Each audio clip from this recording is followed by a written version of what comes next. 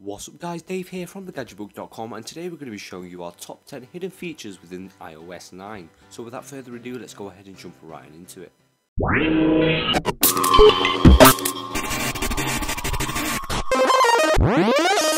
So iOS 9 is a big improvement from iOS 8 from the betas that we've been playing around with and we're very impressed with it so we're going to show you some features that Apple didn't show you within their keynote. So when you're running low on juice on your iPhone and you get to around 20%, you do get a little notification. Now Apple have included a little toggle here where you can actually enable low power mode.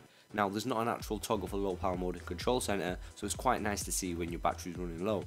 So Apple have also included a new scrolling feature within iOS 9. Now you can actually go onto the spacebar, swipe it with two fingers and have the ability to copy and paste, scroll and select text. It does get a bit fiddly but when you get the hang of it and you know what you're doing it works really nice. Something else that we found useful was the 6 digit passcode. If you jump into Touch ID within the settings panel, you'll be able to change your password and you have the option to enter a 6 digit passcode.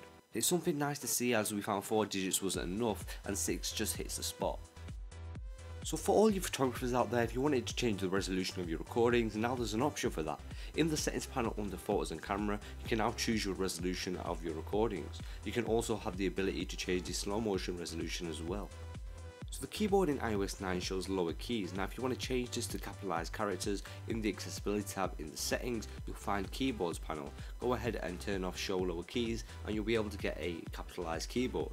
So something that's new in iOS 9 is that you have the ability to change the functionality of the switch above the volume rockers. You can now make it lock your orientation instead of muting your device or the other way around. Just jump into the settings app under general, use slide to switch to and choose what you would like.